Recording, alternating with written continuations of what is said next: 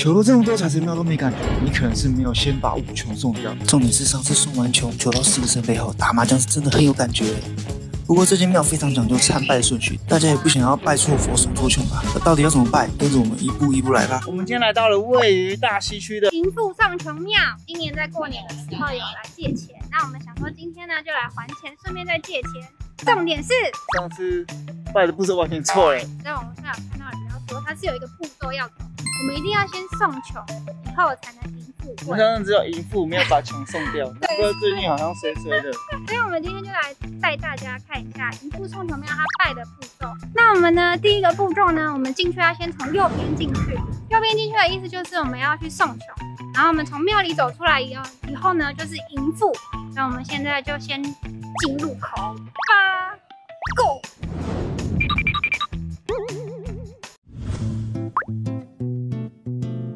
要先净化一下，摸一下元宝，然后一样就是从右边进去。那我们先去买那个金子，在那边。我们这样就算送完成了吗？还没啊，还没，那个就是要买金子啊。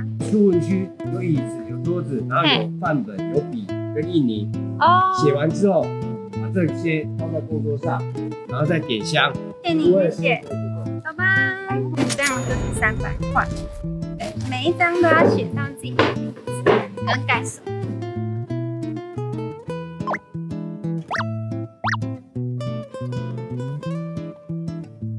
那农历的话，上面就这边都有写。嗯。啊，一二年就是癸卯年这样子。知道几岁？这边有写。地藏王菩萨跟城隍爷是放左右两侧的供。嗯。然后提供咒啊，福德正神就是上面。所以我们等一下会先去拜天公楼，然后第二个、第三个、第四个、第五个、第六个。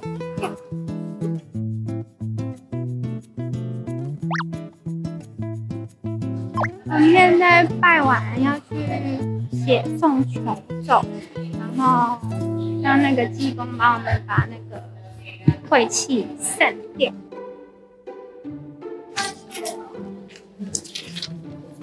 他刚刚说男生要盖左手，女生盖右手，我盖右手，相信不盖。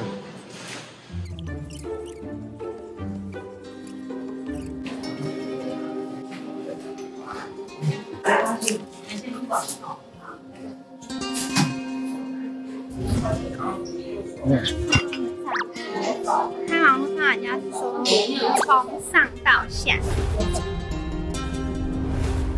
从内到外，送穷完毕，去迎付他。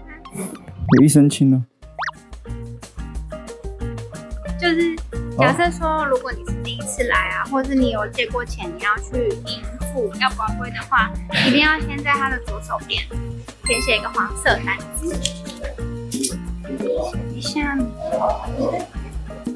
五路招财钱的借贷方法是一次值六个倍，那一倍的话是五十八元。那如果值到六杯的话，会有大红包在金牌里面。需要注意的是，紫色杯是天空杯，不算向财神借钱，除非六杯全开才算金牌。像我就是值了五杯，但是有一杯是天空杯，所以只算四杯。你好多。我有全全部都中，对，我比上次多这两个。啊，我比上次少，但是不想借我。你都乱花钱，把钱都去手里。记得，记得过路，谢谢。太多了吧？我帮你拿吧。去完钱之后就可以到香炉，用左手顺时钟绕三圈，让神力加持一下。这边有提供求签的服务，你只要带你名片，像我们是直接用 YouTube 的手机封面。然后求签要注意的是，你要先跟神明去把杯说这个愿望是不是可以给你签，然后在抽签的时候再宝杯问说这个签是不是你的，需要连续把三个行规才确定这个签是你的，不然的话就要重新求签。是，三个都是钱好，我们去看一下。签是要给我们什么指示？哦，好紧张耶，我是第一签哎。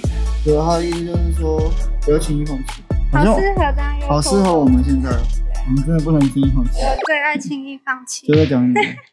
送完球，野球还发大金之后，就可以把刚刚买的金子拿去烧给神明了。你要从那边走啊，用跳的。好，为什么要跳的？你要跳皮啊。好，走吧。至于为什么要走过五色圣杯大道，老一辈的人是说，走过圣杯大道，由迎富门离开，可以移向光明富贵的璀璨，把富贵带回家。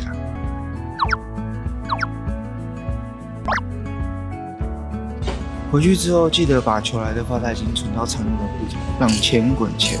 至于没时间领柜的话，可以去全联的硬币真的超级方便。知道创作者，就赶快去 follow 他哦！你有发现其他更具爆红潜力的影片吗？赶快投稿给达人秀吧！